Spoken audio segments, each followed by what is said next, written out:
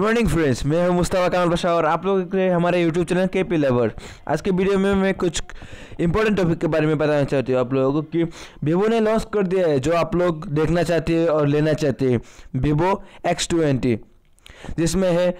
under the screen fingerprint sensor बहुत अच्छा काम करता है वीवो का मोबाइल कल ही लॉन्च किया है ये मोबाइल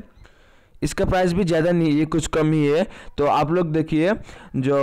उस तस्वीर में दिखा रहा है वीवो का, जो मोबाइल उसका फिंगरप्रिंट है स्क्रीन के अंदर, उसको स्क्रीन के अंदर देने पर क्या होता है फुल बॉडी डिस्प्ले मिलता है, और पीछे वाला, पीछे स्क्रीन देने से बैटरी की जगह छोटा हो जाता है, और एम भी कम मिलता है तो आप लोग बैटरी बैकअप कम मिलता है। तो इसलिए बॉडी का जो Vivo Vivo Oppo iPhone Samsung ने जो कंपटीशन मार्केट था। कोई कंपटीशन मार्केट में वीवो जीत लिया कल ही जीत लिया अपना स्थान वीवो ने फ़र्स्ट पहला ही दिखा दिया अपना मोबाइल जैसा finger under the fingerprint sensor तो देखिए, इस तस्वीर में दिखा रहा है फुल वीडियो फुल तस्वीर में दिखा रहा है। ये video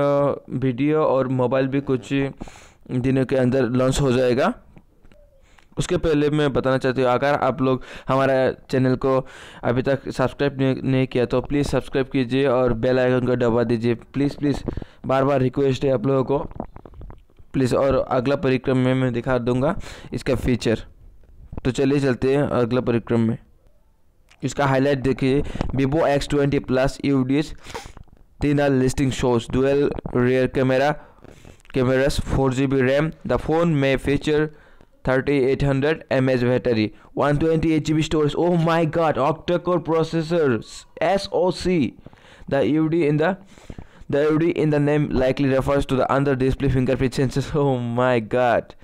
Vivo X20 Plus UD with in display fingerprint sensor has been certified by the TINA in China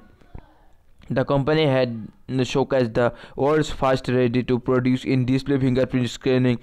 technology जो मैं बात आप लोगों को बताया बेबी देखिए on the Vivo X20 Plus at CEC 2018 although the handset looks similar to the Vivo X20 Plus it does not have a square rear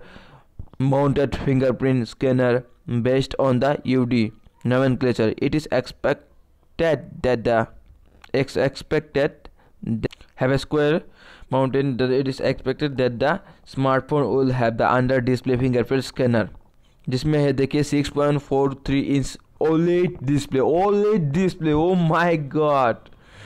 with the resolution 2160 into 1080 pixels according to the Chinese certification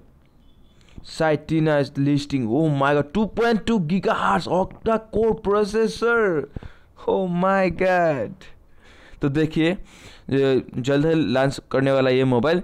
तो आप लोग ready रहिए इसका pre booking के लिए के लिए। शायद कल ही प्री बुकिंग स्टार्ट हो जाएगा। और हम चल आज के वीडियो में इतना ही। तो विदाई लेते अच्छा उसके लिए हमारे दूसरे वीडियो आने तक आज के लिए तो विदाई लेते तो bye bye see you again